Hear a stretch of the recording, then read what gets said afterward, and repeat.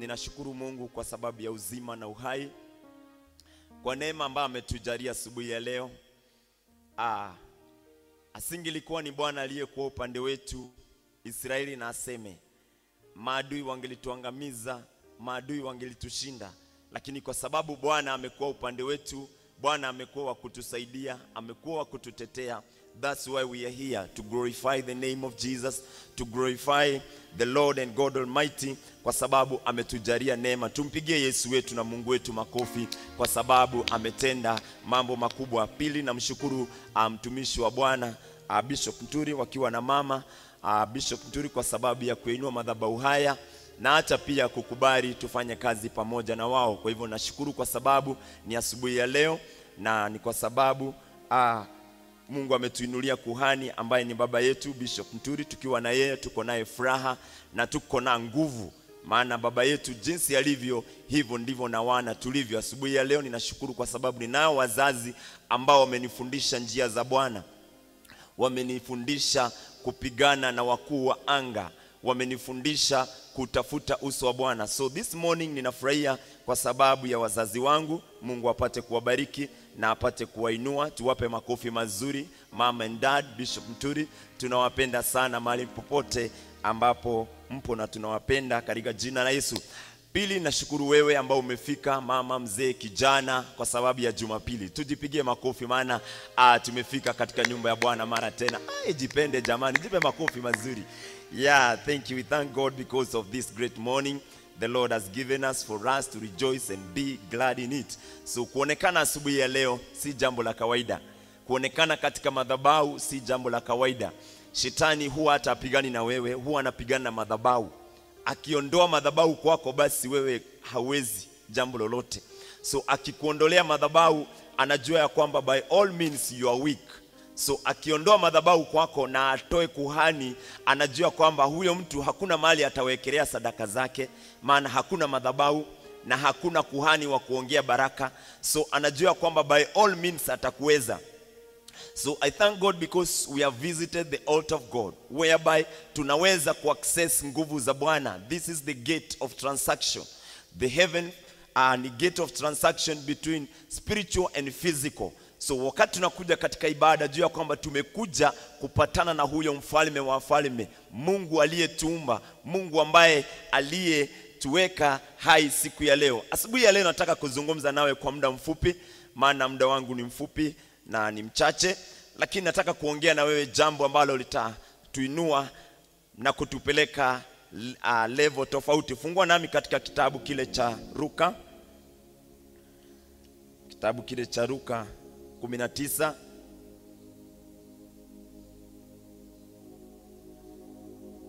mstari wake wa kwanza.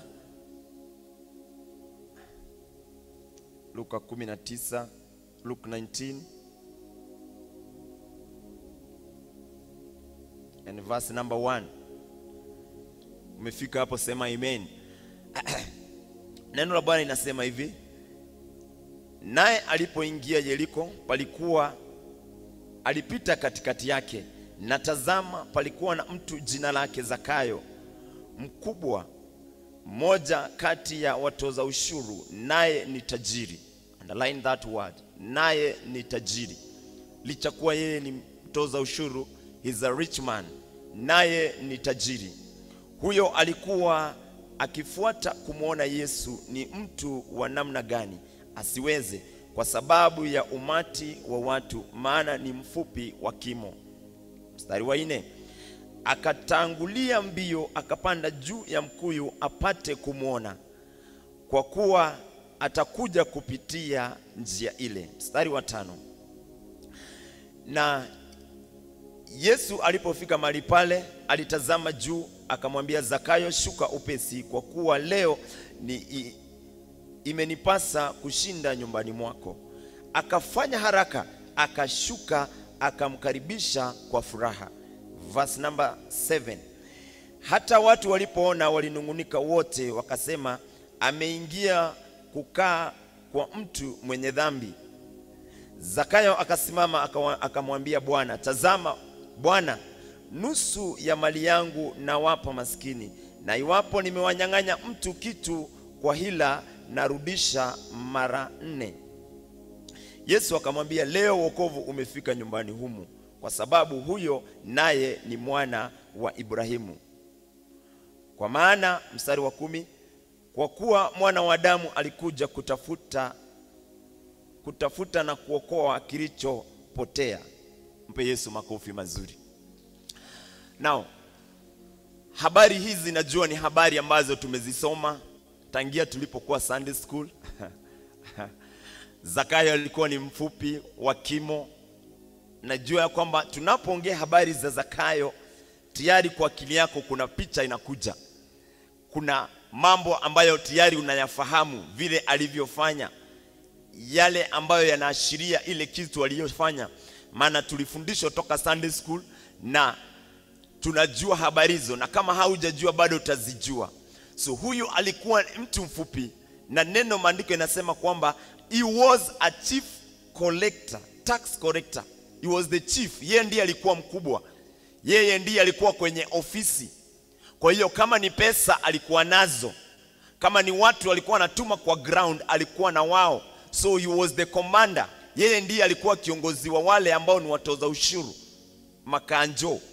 So maandiko inasema kwamba naye alitaka kumwona Yesu ni, ni mtu wa namna gani. Paulo anasema that I may know you and the power that resurrected you. Bwana apewe sifa. Hawa ni watu wawili tunapata kuona. Paulo anasema that I may know you, nipate kumjua na zile nguvu zilizomfufua kutoka kwa wafu. Bwana apewe sifa. Ukitaka kujua Kenya Power, guza waya.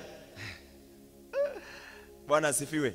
Guza tu waya, then siku zote utaheshimu. Paulo anasema that I may know you and the power that resurrected you. Bwana apewe sifa. So Zakayo naye anasema kwamba ninataka kumjua ni mtu wa namna gani. Zakayo ni tajiri, ana pesa zake, ana mali yake, lakini licha ya hizo vitu zote aliona kwamba kuna kitu ambacho sijakipata katika maisha, kuna kitu ambacho sijaridhika kama sijakipata. Akasema kwamba amesikia habari za Yesu, amechunguza na akajua kwamba iwapo nitaconnect na huyu mtu, iwapo nitajiunganisha na huyu mtu, maisha yangu hayatakuwa ya kawaida, licha kuwa yeye alikuwa ni mfupi wa kimo.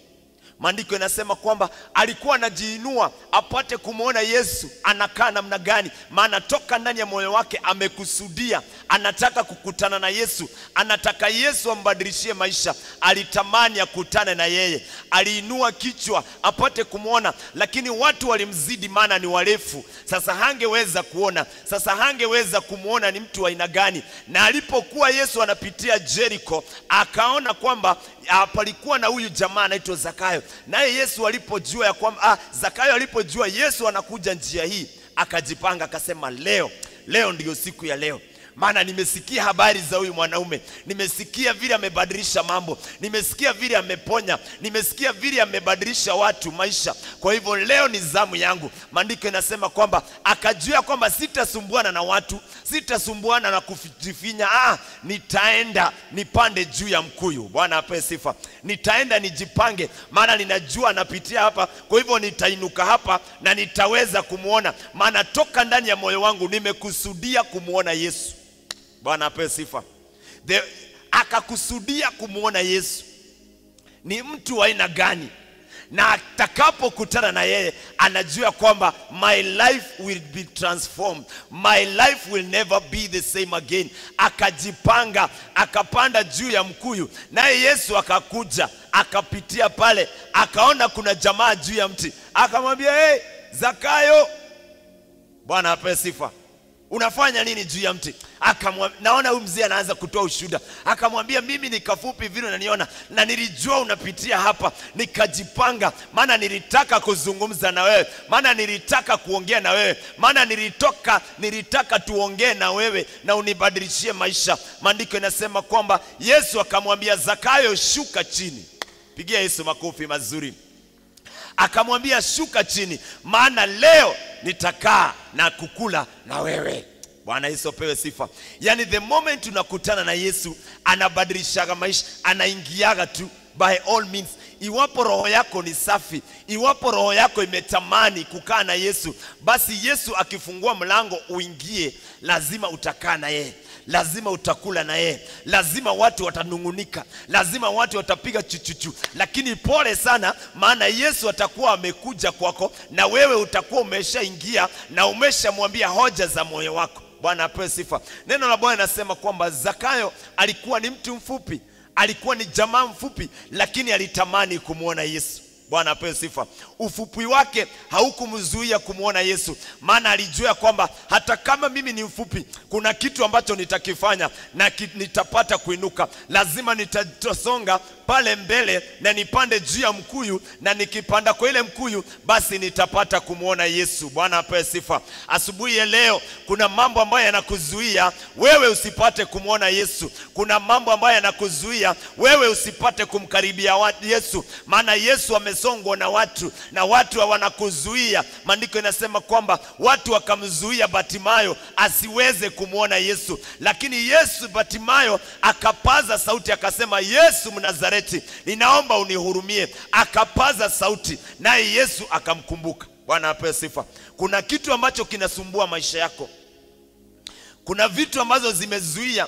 Huyu mwanaume alizuiliwa na ufupi wake asiweze kumwona Yesu, lakini vile asubuhi ya leo tumetembea katika madhabahu ya Bwana, vile ambavyo tumetembea katika madhabahu ya Bwana, kila kizuizi ambacho kiko mbele yako kinazuia usimwone Yesu, leo kinavunjika. Inua mkono wako, sema leo kinavunjika katika jina la Yesu. Madhabahu yote ambayo inaongea kinyume na wewe usipate kumwona Yesu, leo inakatika. Mpe Yesu makofi mazuri. It doesn't matter ni nini. Maandiko inasema kwamba watu walimzuia Zakayo asiweze kumwona Yesu. Roho yake ilitamani, roho yake ilipenda kukaa na yeye, roho yake ilitamani wakae meza moja, lakini kwa sababu ya ufupi wake watu wakamzuia. Hangeweza kumkaribia, hangeweza kufika karibu, maana alionekana ni katoto, maana watu walimzuia na wakampinga. Lakini Yesu ni mwenye huruma, akamwambia Zakayo, njoo, maana leo nitakula na wewe.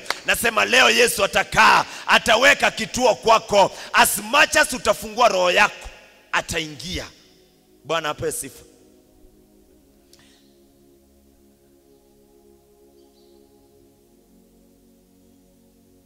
Jina Zakayo, the word Zakayo, the name Zakayo, je, inamaanisha nini? Inamaanisha the name Zakayo, pure and innocent. Pure and innocent. Bwana apewe sifa. That's the meaning of Zakayo. Pure and innocent. So this guy is pure in heart and is very innocent, but kuna kitu ambacho kinafanya asiweze kuconnect. Kuna kitu kinazuia asiweze kuingiana. Remember the beatitude of Jesus that is in Matthew eh, Matthew Matthew 5 and verse number 5 and verse number 8. Matthew 5. This is the beatitude of Jesus 5 and verse number 8. Kimbia hapo. Anasemaje? Heri mwenye moyo safi, mana hao watamuona Mungu. Blessed are the pure in heart. Hey, Bwana apewe sifa. Blessed are the pure in the heart, for they shall see God. Now this man, it, this fact, this man is short, lakini this his name is pure and innocent. Hey, Bwana apewe. The name of Zac, the meaning of Zacchaeus is pure and innocent. Now the beatitude of Jesus, Matthew 5 and verse number 8 nasema uh, Blessed are the pure in heart, for they shall see God. So by all means this guy is pure, roho yake ni pure na ako innocent na anataka kukutana na huyo Mungu. Nalo assurance of Matthew 5 and verse number 8 nasema for they shall see God. Bwana apewe sifa. Kuna assurance iko tutamwona Mungu, lakini kuna kakizuizi hapa, kuna kakifuniko ambacho kanafunika wewe usipate kuconnect. Maandiko yanasema kwamba Zakayo akasema kwamba leo lazima nitakutana na Yesu. Leo lazima Yesu ataweka kikao kwangu. Akajipanga, akainua, akajipanga, akapanda juu ya mkuyu na alipopanda juu ya mkuyu Yesu akakuja, anahubiri Injili, anatembea kwa ile barabara. Alipofika pale, akaona kuna mwanaume ambaye roho yake iko safi. Blessed are the pure in heart for they shall see God. Bwana apewe sifa. Mpe Yesu makofi mazuri, ambaye ana roho safi, ambaye moyo wake uko innocent. This guy anatamania kumwona Yesu. Ni, ni mtu wa namna gani? Maana Yesu anabadilishaga, maana Yesu anainuaga. So huyu jamaa akajua kwamba nitapanda, akakusudia vile ambavyo umekusudia asubuhi ya leo, ukasema nitakuja kwa madhabahu ya Bwana, na nitakapofika hapo, I know my life will never be the same again. Akakusudia, akawa amepanga na amechora vile ataongea na Yesu. Na Yesu alipofika pale, akaona mtu mwenye moyo safi, mtu ambaye ako innocent, akamwambia Zakayo, shuka.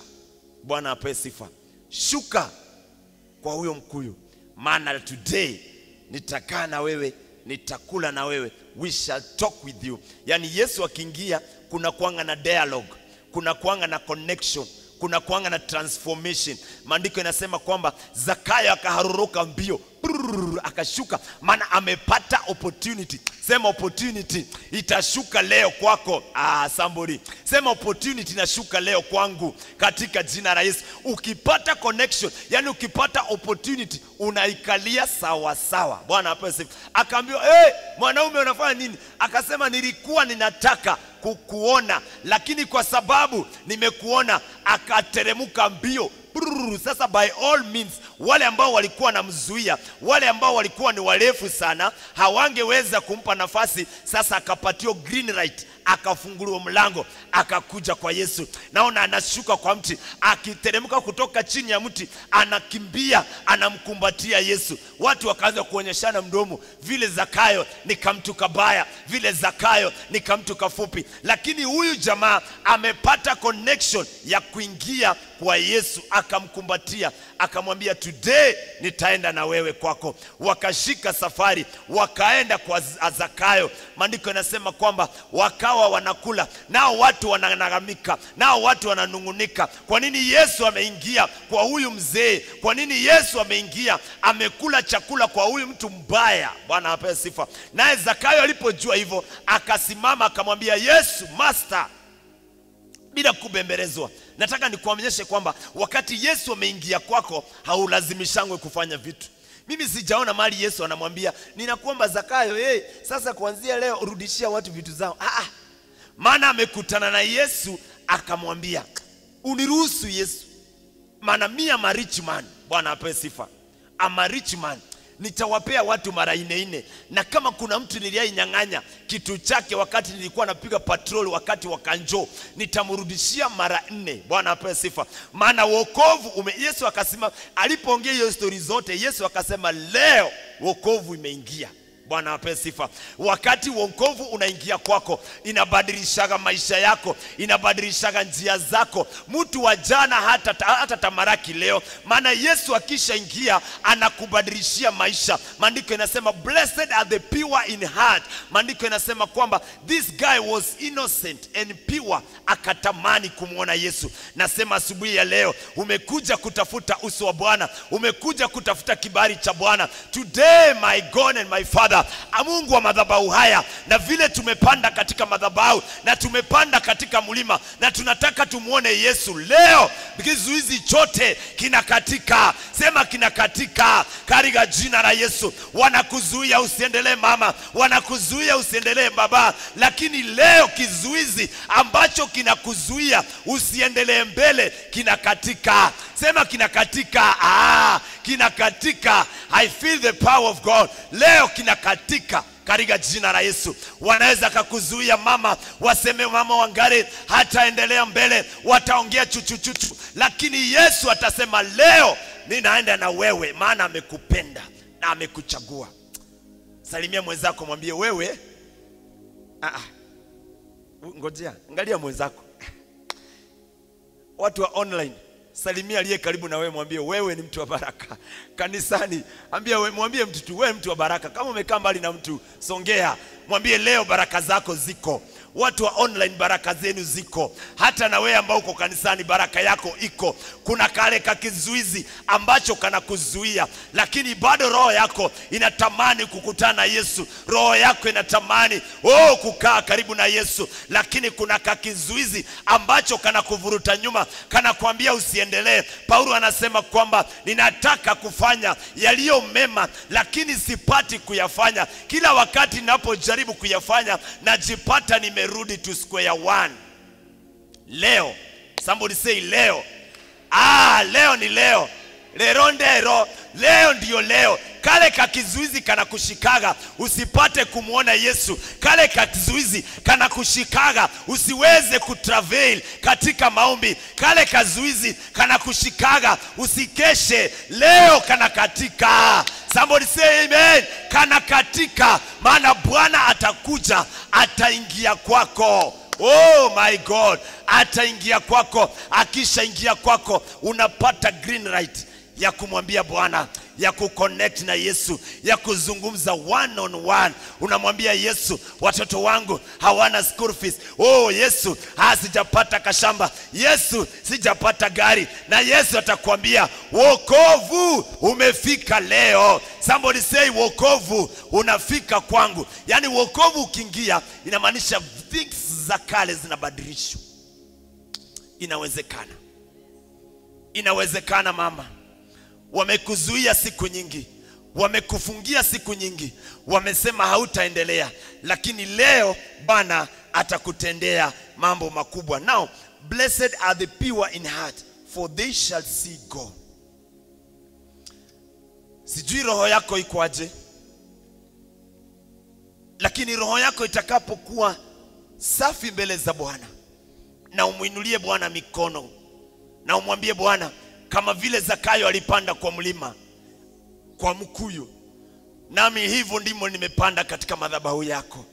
Nainua mikono yangu, nainua sauti yangu, naomba Bwana majeshi unisaidie, maana vilima vime, vita vimechacha, maadui wamenikimbisha na watu wamenizuia, wamenifungia milango nisiweze kukutana na wewe, lakini madhabahu yako yana uwezo ya kunisaidia. I've told you the altar of God is a gate of transaction. It's a gate of transaction. When you come to the altar of God, it elevates you to higher standard, na wewe utaweza kuaccess mbingu za Baba. Bwana apewe sifa.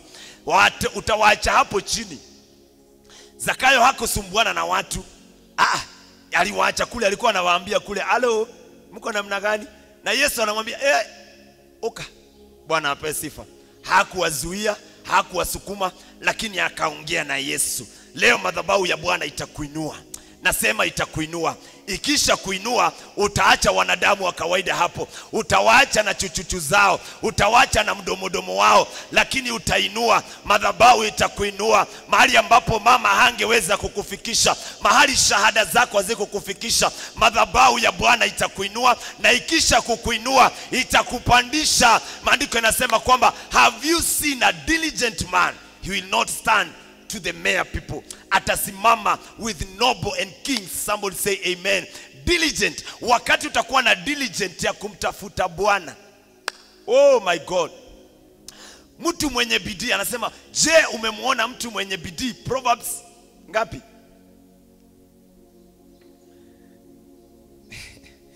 Proverbs. Oh my god. Njiri ni tamu. Fungua hapo. Proverbs